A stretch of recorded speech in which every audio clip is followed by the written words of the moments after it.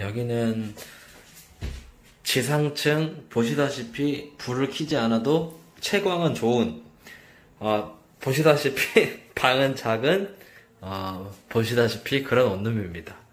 이 작은 방에 제가 평수를 미리 재봤는데 한 2.5평 되더라고요. 2.5평. 이렇게가 3m, 거의, 거의 3m, 3m 그랬던 것 같아요. 음, 3m, 거의 3m 정도 돼서 2.5평보다 조금 더 큽니다.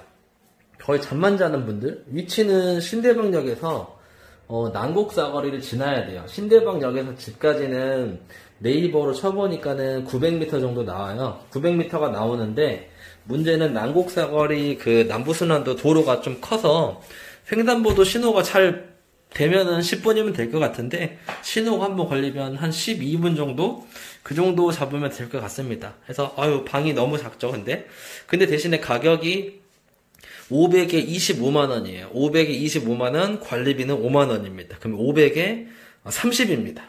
반지하면 좀 별로지만 관리비 포함해서 500에 30으로 일단 지상층이에요. 일단 채광 좋은 지상층.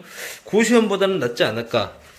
항상 제가 요 가격대 요 가격대 그 방들을 보면은 항상 이제 고시원하고 비교를 합니다. 당연히 일반 원룸보다는 많이 작기 때문에 그래도 신발장은 신발장은 그래도 어, 신발은 한, 한 카드 두 개씩 해서 둘 수 있을 것 같습니다.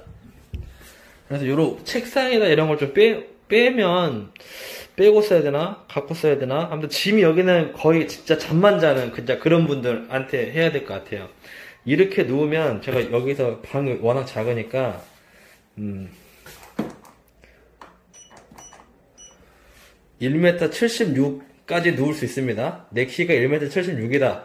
이렇게 누울 수 있어요. 근데 만약에 내가 이, 이 책상을 빼겠다. 이 책상을 빼겠다 하면, 어, 2m 30까지, 그리고 서장훈 씨까지, 농구 선수까지는 이렇게 누울 수는 있습니다. 누울 수는. 대신에 옷장은 하나밖에 없기 때문에, 짐이, 지금 내가 고시원 산다. 근데 보증금 500이 된다? 보증금은 그 이하로도 500 이하로도 될 것 같아요. 그런데 어 사실 방이 작아서 뭐 자세하게 찍을 거 말 것도 없네요. 근데 그래도 가격이 어, 싸니까 가스레인지 있고 세탁기 있고 어, 에어컨 있고 냉장고 있고 옵션 다 있습니다. 불 켜지 않아도 채광은 좋고 그래서 고시원보다는 낫지 않을까라는 생각만 해봅니다. 이제 네, 일단 화장실도 다시 한번 보고. 어? TV가, TV가 숨, TV가 숨어 있었네요. 아, 티, 테레비가 숨어 있었네요. 관리비 5만원에는 인터넷이랑, 어, TV 유선이랑 수도세까지 포함이고, 전기 가스만 따르라고 하니까요. 그 점은, 어, 참고하시면 될 것 같습니다. 옷장도 한번 열어볼까요? 일단 볼 게 없으니까 이런 거라도 봐야 될 것 같아요. 옷장은 일반 옷장입니다. 옷걸이는 서, 서비스로 옷걸이는 7개를 어, 주네요. 일단은 여기까지 어, 찍겠습니다.